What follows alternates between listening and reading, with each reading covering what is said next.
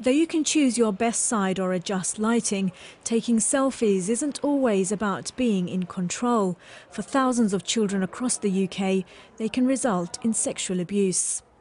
Over the course of the conversation, she piled on a lot of compliments to me about how pretty I was and, you know, you're beautiful and you could be a model just like me.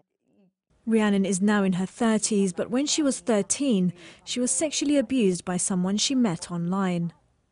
I sent a topless picture and almost immediately her demeanour changed and it went from complimenting me and asking nice questions to essentially blackmail. The next morning, a man came to her house. She didn't know at the time, but this was the same person she'd been speaking to online. He sexually assaulted me in my bedroom and he took more photos of what was happening. The Internet Watch Foundation calls this the dark side of the selfie. It took action over more than 120,000 images of child abuse found online. Around 30% of those were self generated.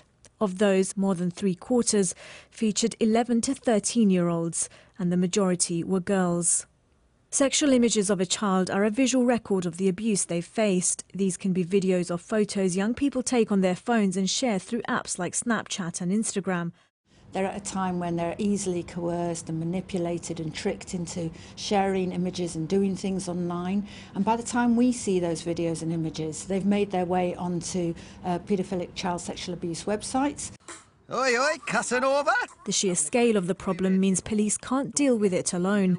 It's prompted this campaign by the IWF and the Marie Collins Foundation. All internet users, they say, need to understand that you're breaking the law if you view sexual images of children, regardless of who's taken or uploaded them. And so the IWF is helping anyone who comes across such content to report it anonymously using this quick and simple form on its website. It could help internet companies remove images faster. Sadia Chowdhury, Sky News.